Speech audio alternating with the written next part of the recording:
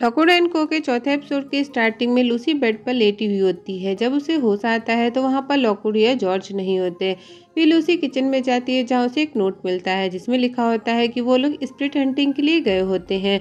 Lucy को basement का दरवाज़ा खुला हुआ मिलता है, जिसे देख वो डर जाती है। तभी लॉकवुड और जॉर्ज आ जाते हैं, जो एक हंटिंग मिशन पर गए थे और किप्स की टीम के साथ काम किया था।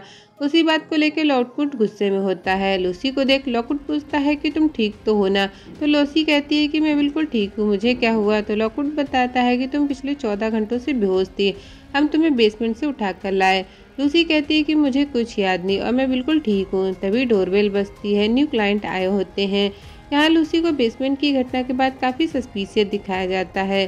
क्लाइंट तो बिज़नेस पार्टनर होते हैं सेबेस्टियन सोंडर और पेमेला जॉपलिन जो कि स्वीट ड्रीम एक्सक्यूशन से होते हैं मतलब वे कब्र खोदने वाले कर्मचारी होते हैं। वे बताते हैं कि किंजल ग्रीन कब्रिस्तान में एक नया प्रोजेक्ट चला है, जिसकी जान डीप टेक कर रही है। ये लंदन का फ़ेमस कब्रिस्तान है, जिसे बिकर स्टाफ फैमिली चलाता था। और उनका एक बेटा इलीगल कब्र खोदता था, पर इससे पहले वहाँ पर बड़े और नामी व्यक्तियों की डेड बॉडीज को दफन किया जाता था और उनमें से एक आत्मा है टाइप टू की, जो कि पुरानी और ऐतिहासिक है। पर हमें ये नहीं पता कि उसकी कब्र कौन सी है उसका किसी लिस्ट में नाम भी नहीं है। वो काफ़ी पावरफुल है, क्योंकि डीपटेक सारे खर्च उठाती है, इसलिए ये काम आप लोगों को नाइट में करना होगा, ताकि हमारा दावा सही साबित हो। लॉकवुड को ये काम काफ़ी इंटरेस्टिंग लगता है, इसलिए हाँ कर देता है। इन बातों के बीच लूसी को दिखाया जाता है कि उसके जूतों में किसी प्रकार की तीन कीले घुसी हुई कब्रिस्तान के अंदर एंटर होने से पहले उन्हें घोस्ट कल्ट के लोगों की भीड़ मिलती है, जो उन्हें रोकने की कोशिश करती है, क्योंकि उनका मानना होता है कि भूतों से लड़ने के बजाय उनका स्वागत करना चाहिए। इन्हें शोर शराबा पसंद है, ये गुस्सेल और मोटी चमड़ी के होते हैं। कब्रिस्तान के अंदर आते ही उन्हें लोगों का जमाड़ा मिलता है, जो कि वहाँ की हाई सिक्योरिटी होती है। सबसे पहले कब्र खोदने वाले के बारे में बताता है जो कि ऑनेस्ट होते हैं। फिर नाइट वॉच के बारे में बताता है जो कम पैसों में अपनी लाइफ रिस्क लेकर काम करते हैं। फिर हाई गेट सेंसिटिव्स के बारे में बताता है कि वो भी लिस्नर होते हैं पर तलवार नहीं उठाते। वहाँ के सभी सिक्योरिटी मेंबर्स काम करने से मना करते हैं, क्योंकि उनका कहना था कि वो एक जीता जागता सुसाइड प्लेस है। और जब तक वो कब्र सेफ़ नहीं हो जाती, हम तब तक वहाँ काम नहीं करेंगे। सौंडर बताता है कि इसलिए हमने एजेंट्स को बुलाया है। लॉकवुड उनकी बातों को सुन उन्हें यकीन दिलाता है कि आपकी सुरक्षा ही हमारा एकमात्र मकसद है। हम फिट्स या रोडकल की तरह ही अच्छे एजेंट्स हैं। हम अपना काम चुपचाप करते हैं, ना कि इसलिए कि हमारा नाम पेपर में आया, हमारी तारीफ़ हो। आप लोग इस कब्रिस्तान को अच्छे से जानते हैं, इसलिए जैसा आप बताएँगे, वैसे ही हम काम करेंगे। फिर साउंडर लॉकवुड से कॉन्ट्रैक्ट पर साइन करवाता है। लॉकवुड पूछता है कि आखिर वहाँ हुआ क्या था? तो सौंडर बताता है, ग्रेव डिगर ने गलत वक्त पर काम किया और सूरज डूबने के वक्त उनके सामने ताबूत था, पर वो खुला नहीं था। उसे खोलने का काम तुम्हारा और ये काम बिना किसी मदद के करनी होगी, जब तक वो जगह सेफ़ न हो जाए। लॉकवुड ये सुन गुस्साता है, क्योंकि सौंडर ने पहले कहा था कि तुम लोगों को हर तरीके की मदद मिलेगी। फिर तीनों उस कब्र के पास जाते हैं। लूसी अपनी एबिलिटी से सुनने की कोशिश करती है तो उसे अजीब सी कंपन महसूस होती है, पर लॉकवुड को किसी की लाश नहीं दिखती। फिर तीनों लोहे की चेन का घेरा बनाते हैं।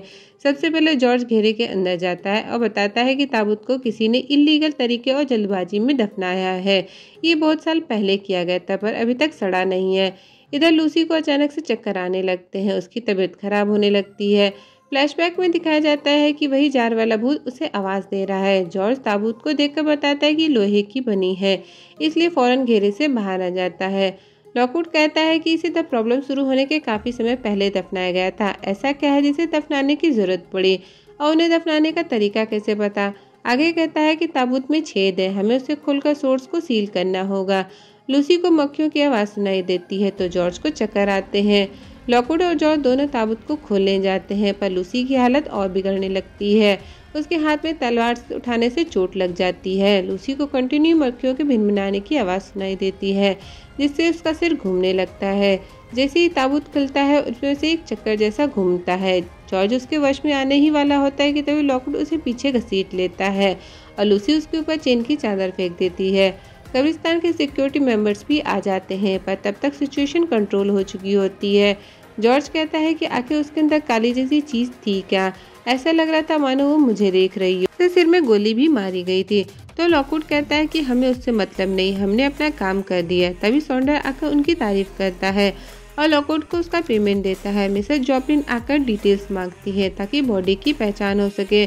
जॉर्ज उन्हें डिटेल देने उस कब्र के पास लेके जाता है। इधर लूसी एक कब्र पर बनी खोपड़ी को देखती है। जिसे देख उसे याद आता है कि जार में बंद खोपड़ी ने उससे बात करने की कोशिश की, उसका नाम लिया। अचानक से जॉर्ज का पैर फिसल जाता है और चादर बॉडी के ऊपर से हट जाती है। चारों तरफ़ तेज हवाएँ चलने लगती हैं और उसे एक बहुत भयानक भूत निकलता है। लूसी फ़ौरन उस भूत पर तलवार फेंक देती है और जॉर्ज उसे चादर से ढक देता है। सिचुएशन फिर से कंट्रोल में हो जाती है। लूसी वहाँ से निकल फ़ौरन घर को आती है और जार के नॉब को थोड़ा ओपन करती है। खोपड़ी फिर से लूसी का नाम लेता है और कहता है कि तुम मुझे सुन सकती हो। मैं बहुत अकेला हूँ। लूसी को यकीन नहीं होता कि वो टाइप थ्री भूत से बात कर रही है। जो कि बहुत खतरनाक होते हैं। तो खोपड़ी कहता है कि मैं नहीं, वो लड़का खतरनाक है। उसके बहुत से सीक्रेट है। यहाँ लॉकवुड के बारे में कह रहा होता है। कहता है, मैं तुम्हें सब समझा सकता हूँ, पर इसके लिए तुम्हें मुझे जार से निकालना होगा। मैं बहुत कुछ सिखा सकता हूँ। मुझ पर भरोसा करो। लूसी, उसकी बातों में आकर खोलने वाली होती है कि तभी खोबड़ी पूछती कि कहाँ गई थी तुम? तो लूसी कहती है कि काम कर रही थी कब्रिस्तान में। तो खोबड़ी कहती है, किस कब्रिस्तान में गई थी? तुम किसी ताकत के पास थी और अब मौत आ रही है। लूसी ये सुन परेशान हो जाती है और झुलझुलाते हुए जार फिर से बंद कर देती है। लॉकवुड और जॉर्ज भी घर आ जाते हैं। जॉर्ज उस कब्र के आईने पर बने निशान के बारे में सर्च करता है और लॉकवुड उसे ऐसा करने से मना करता है क्योंकि वो काम खत्म हो गया है। फिर जॉर्ज को उसकी लापरवाही के लिए डांटता है कि तुमने अपना ध्यान भटकने दिया। अगर लूसी न होती तो तुम ज़िंदा न बच पाते। तो जॉर्ज कहता है कि लूसी भी तो एक जॉब के दौरान भागी थी, तुम उसे तो कुछ नहीं कहते। दोनों बहस कर ही रहे होते कि बीच में लूसी उस खोपड़ी को लाकर कहती कि मुझसे बात कर रहा था। उसने कल मेरा नाम लिया था, इसलिए मैं बेहोश हो गई थी। दोनों को लूसी की बातों पर यकीन नहीं होता। तो लूसी कहती है कि मरीसा पिट्स के साथ भी यही हुआ था और यही मेरे साथ हो रहा है। इसका मतलब मैं बहुत ज़्यादा ताकतवर हूँ। जॉय उसकी बातों को अनसुनी कर वहाँ से चला जाता है। तो लूसी लॉकवुड से कहती है कि तुम्हारे बंद कमरे के दरवाजे के बारे में भी इसने बताया, जहाँ कई रात छिपे हैं। ये सुन लॉकवुड गुस्सा हो जाता है और कहता है कि तुम मरीसा फिट नहीं हो और जिस राज की बात कर रही हो, उसे तुम समझ नहीं सकती। आज के बाद अगर दोबारा उस कमरे का ज़िक्र किया तो तुम्हारा यहाँ आखिरी दिन होगा। लूसी अपनी उलझन को दूर करने के लिए मरीसा फिट का इंटरव्यू वीडियो देखती है, जहाँ वो बताती है कि हमने भूतों को उनके बर्ताव और पावर के अकॉर्डिंग क्लासीफाई किया। सबसे कमज़ोर विजिटर टाइप वन और उससे स्ट्रॉन्ग टाइप टू इंटरव्यूअर उसे टाइप थ्री के बारे में पूछती है तो मनीषा कहती है कि लोग इतनी जल्दी बिलीव नहीं करते जब तक वो डरावना ना हो। टाइप थ्री इंसानी दुनिया से जाने के लिए बिल्कुल तैयार नहीं होते, उनमें अनोखी ताकत और समझ होती है। वो अकेले अंधेरे साय में हमारे जैसे महसूस कर सकती हैं, जब तक तो किसी ज़िंदा रूह से बात न कर ले। लॉकआउट अपने बिहेवियर के लिए लूसी से माफ़ी माँगता है और हाथ की चोट पर मरहम पट्टी करता है। और बताता है कि जब मैं छः साल का था तो मैं अनाथ हो गया था। उस कमरे के अंदर मेरा अतीत है, जिसके बारे में मुझे बात करना पसंद नहीं और मुझे तुम्हारी बातों पर यकीन है। ये सुन लूसी खुश हो जाती है। दोनों एक दूसरे को पसंद करने लगते होते हैं। अपने इमोशन को कंट्रोल कर लेते हैं। लूसी बताती है कि खोपड़ी मेरी ताकत को महसूस कर सकता है और मौत की भविष्यवाणी कर रहा था। ये बात जब दोनों जॉर्ज को बताने आते हैं तो रूम में नहीं मिलता और एक कागज़ पर लिखा होता है द ट्रुथ लाइज बियॉन्ड दूसरी तरफ़ जॉर्ज उसी कब्रिस्तान के क्राइम सीन पर आता है, जहाँ उसे एक छड़ी मिलती है। तभी वहाँ इंस्पेक्टर बाँस आ जाता है और कहता है कि मेरा क्राइम सीन है और आईना चोरी हो गया है। इसकी खुदाई तुमने की थी ना तो तुम्हें कुछ अलग दिखाई दिया था। तो लूसी कहता है, नहीं, पर क्या तुम्हें किसी पर शक है? तो इंस्पेक्टर कहता है कि, अभी तो नहीं, पर जिसने भी चुरा है, उसने बारह साल के एक बच्चे को मार डाला। जॉर्ज कहता है कि तो फिर हमें क्यों नहीं बताया? इंस्पेक्टर बताता है कि, अभी तुम्हारा केस नहीं इसे हमने फिट्स एजेंसी की किप्स टीम को दे दिया गया है। तभी लॉकवुड और लूसी भी आ जाते हैं। किप्स बताता है कि हम इसकी पहली रिपोर्ट बना चुके हैं। उसका साथी बॉबी कहता है कि फिट्स डाटाबेस के अकॉर्डिंग अठारह सौ छियासी में किलबन में मजदूरों की बहुत बुरी लड़ाई हुई थी और ये आदमी उस शराब खाने का मालिक था। तो हो सकता है कि उन मजदूरों ने इसे मारकर इस ताबूत में बंद कर दिया हो और आईना उस व्यक्ति की खास चीज़ होगी, इसलिए वो सोर्स बन गई जॉर्ज उसकी स्टोरी को सुन हंसने लगता है और रियल स्टोरी बताता है कि ये बात सही है कि ये घटना सौ साल पुरानी है और आईना पर कुछ लिखा है जो कि फिनिशियन भाषा में लिखा है, जिसे विक्टोरियन वक्त के जादू टोना वाले यूज़ करते थे, जिसका मतलब था सत्य, असलियत से परे है। ये मौत कोई दुर्घटना नहीं थी। ये एक अमीर जादू टोना करने वाला आदमी था जो अपने वक्त से आगे था और उसके पास एक खास आईना था जिसकी कीमत ब्लैक मार्केट में बहुत ज़्यादा थी। आगे बताता है कि ये कब्रिस्तान एडवेंट बैकर स्टाफ के परिवार का हुआ करता था। लोहे के ताबूत और कांच पे लिखा शब्द उसी की तरफ़ इशारा कर रहे हैं। ये सब भूत से संबंधित है।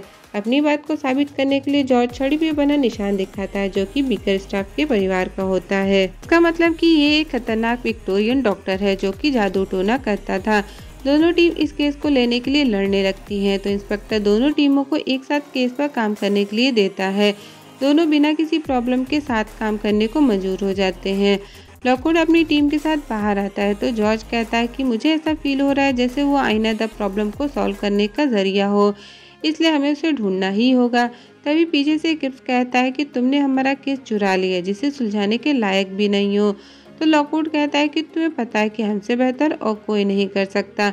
ये मुकाबला आईना ढूँढने का है तो शर्त लगाता है कि जो हारेगा वो जीतने वाले को बधाई देगा और इस खबर को अखबार में छपवाएगा।